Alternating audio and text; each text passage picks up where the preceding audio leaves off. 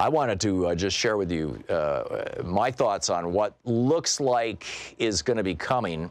Uh, probably uh, at the end of the day today or sometime next week, although it could take several weeks because Bob Barr is in the middle of the process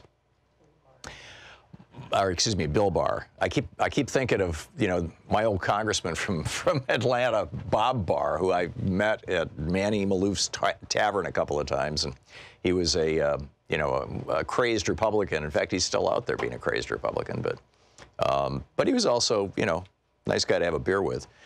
Uh, but in any case, Bill Barr is the Attorney General. He was the Attorney General who, in 1992, advised George Herbert Walker Bush to cover up the Iran Contra crimes of Reagan and Bush and shut down the investigation by Special Prosecutor Lawrence Walsh at that time.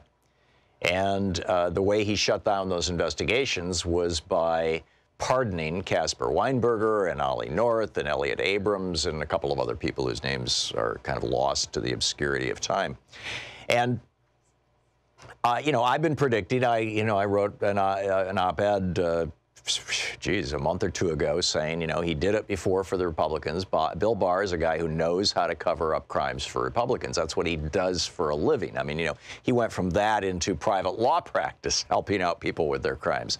And, and you know, now he's the Attorney General again. And so Mueller works for him.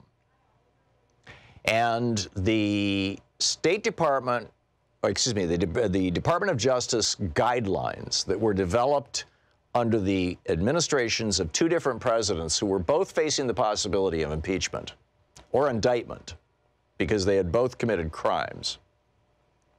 The Justice Department guidelines that were developed by those attorneys general in those two White Houses, those guidelines say you can't indict a sitting president.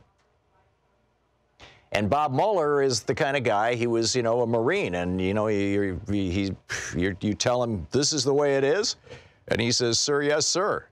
You tell him, take that hill, and he takes that hill. You tell him, you can't climb that hill, he doesn't climb that hill. I mean, it's just that simple. And so Mueller has said that he's going to operate within the guidelines of the Justice Department, as has Bill Barr. But Bill Barr took it a step beyond that.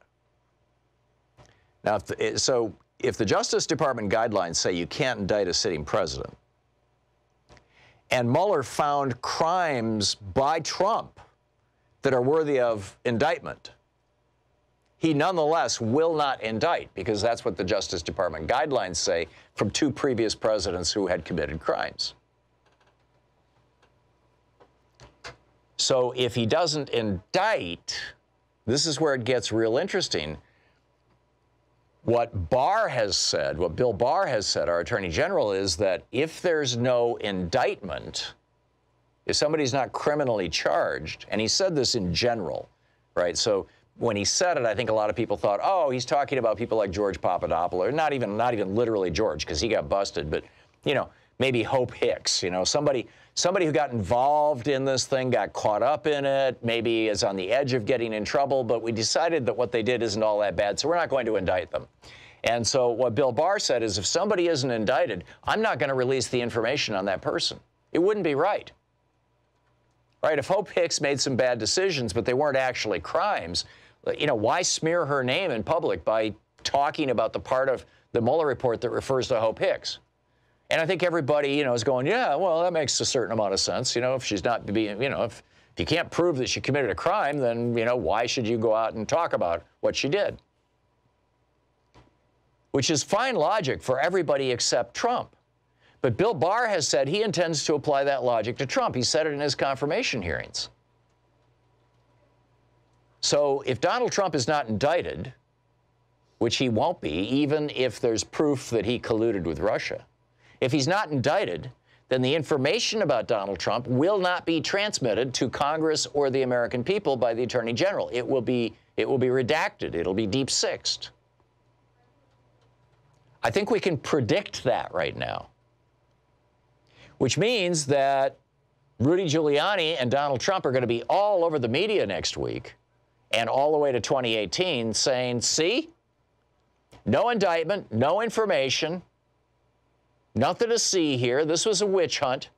There's nothing going on. because Bill Barr will have used this kind of I wouldn't call it a technicality in the law, but I, you know, I think a, you know a terrible failure of two previous presidential administrations, both of which had guys in the White House who could have been indicted for crimes, where the Attorney General ordered the lawyers in the in the uh, DOJ to come up with guidelines for the DOJ about whether they could prosecute a sitting president. In both cases, they said we don't think it's a good idea.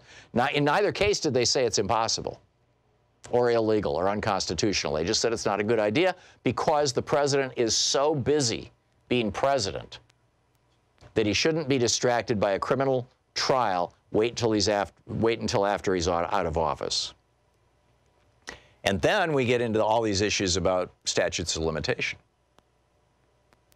You know, most crimes have statutes of limitations associated with them. Murder is one of the few that doesn't. But most crimes do. And, uh, you know, there's a lot of speculation that some of Trump's crimes, certainly, particularly his financial crimes, which typically have a 10 year statute of limitations, that those crimes will have run out at the end of this presidential term and certainly would run out if he's in office until 2024.